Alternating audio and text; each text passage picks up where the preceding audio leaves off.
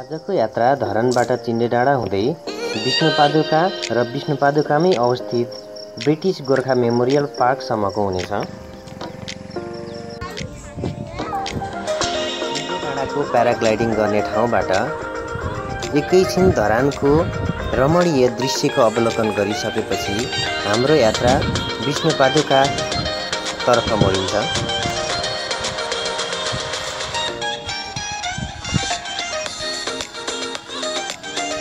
चिन्डे डाँडाबाट हाम्रो विष्णुपादुकाको यात्रा सुरु हुन्छ यहाँबाट। यो बाटो।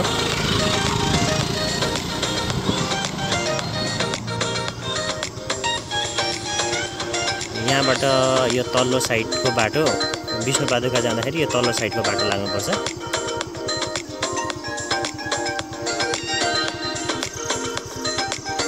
तल्लो बाटो।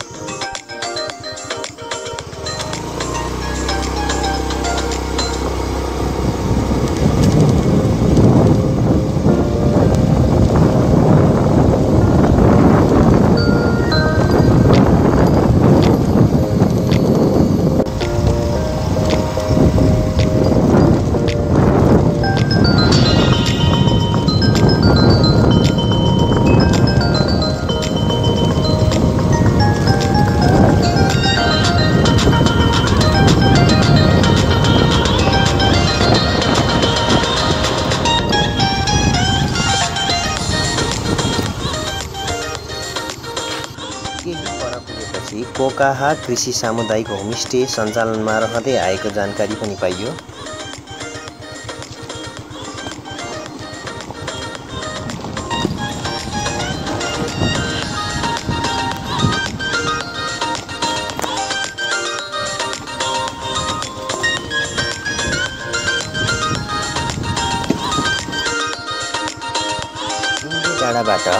बाइकमा करिब दस मिनटको यात्रा पश्चात एउटा खोला भेट्न सकिन्छ। खोलाको केही मिनट उकालो लाग्दा सहजै विष्णुपादुका मन्दिर पुग्न सकिन्छ। यो चाहिँ मन्दिर जाने बाटो। विष्णुपादुका विष्णुपादुका मन्दिर जाने यहाँबाट अलिकति उकालो लाग्नुपर्छ।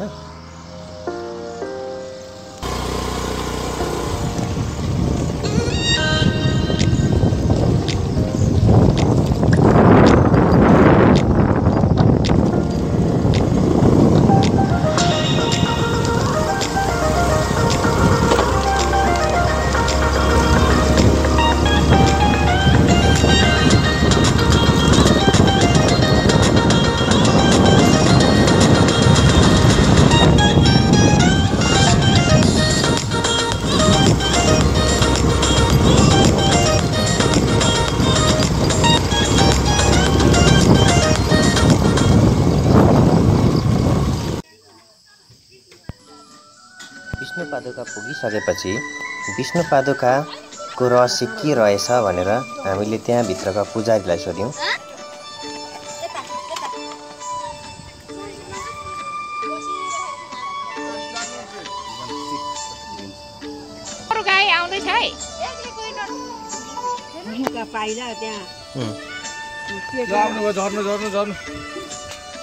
विष्णुले चाहिँ त्यहाँ टेकेको पाउ भएकोले गर्दाखेरि विष्णुपादुका नाम रहेको भन्ने विश्वास। यो पहिला चाहिँ तपाईँको के अरे उन्नाइस सय सत्तरीमा स्थापना भएको कि हजुर। यो के अरे यो उत्पन्न कसरी भयो भन्दाखेरि हाम्रो पुर्खा भुइँफुट्टा धामी थियो। यो त के अरे पाउ पुगेको छ त्योभन्दा अगाडि चाहिँ। हजुर। अनि भुइँफुट्टा धामी भएर गाउँमा चिन्ता धन्दा गर्नु जाँदाखेरि विष्णु आङमा चढेर कम्पती गरेर त्यसरी फलानाका विष्णुको मूर्ति छ विष्णुको पाउ छ।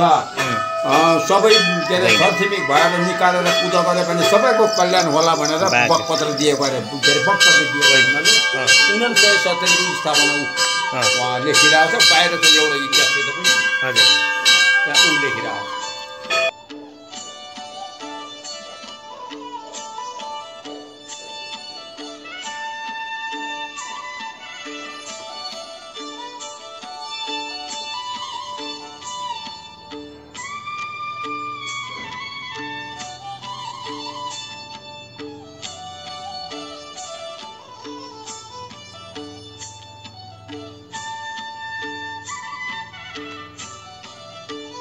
हो यो कुर्कुच हो हाम्रो यहाँ विष्णुपादुकाको इतिहास र महत्त्व यो बोर्डमा लेखिएको छ यसलाई भिडियो पज गरेर पढ्न सक्नुहुन्छ तपाईँहरूले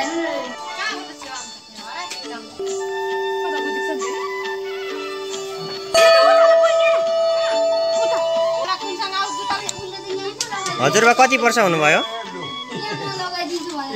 कति वर्ष हुनुभयो तपाईँ? आयो फोटो। नब्बे पन्चानब्बे वर्ष हुनुहुन्छ? अन्ठानब्बे सालले भन्नुहुँदैछ अन्ठानब्बे साले? तपाईँ जेठो छोरा? ए। अहिले म आठ सालको। आठ साल अनि साल। हजुरबा हजुरबा चाहिँ कति सालको हुनुहुन्छ? बयासी। साल। ए बयासी सालको हुनुहुन्छ। साल। ए। हाम्रो साल हजुरबा खुसी लाग्यो अँ। के पो छ होला नि के को के पो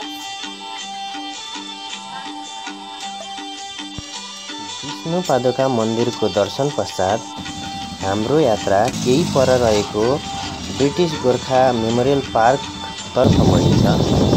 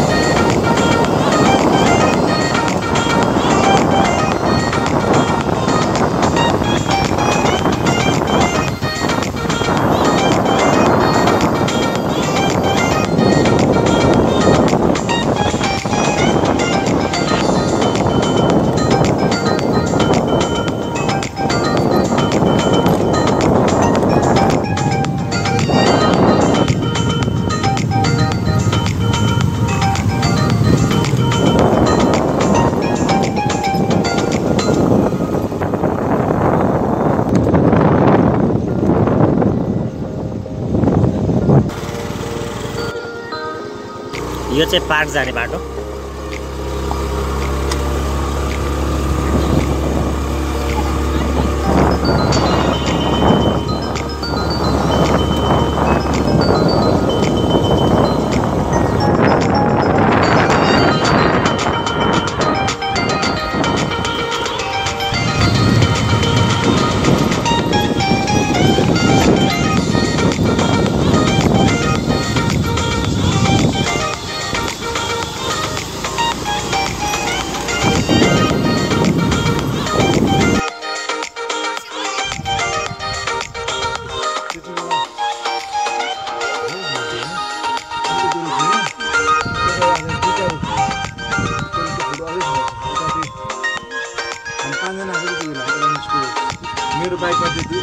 यो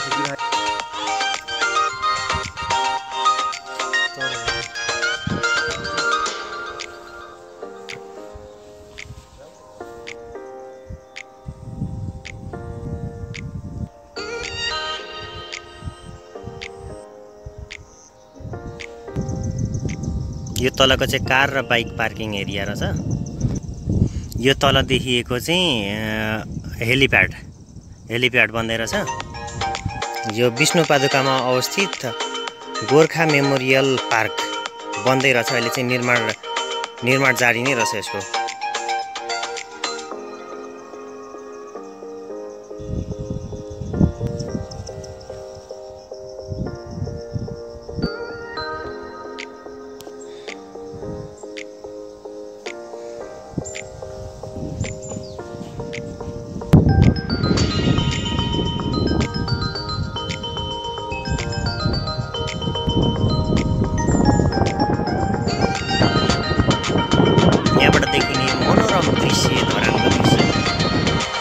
यो पार्कसम्म आउने बाटो पनि धेरै राम्रो बनाएको रहेछ यो तल देखिने बाटो विष्णुपादुका आउने बाटो।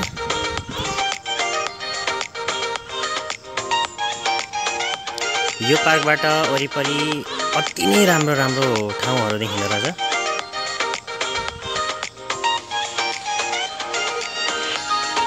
माथिको ठाउँबाट पार्कको माथि बाट यो बेल भएको डाँडाबाट चाहिँ ठाउँबाट चाहिँ धरानको मनोरम दृश्यहरू देख्न सकिँदो रहेछ रहेछ।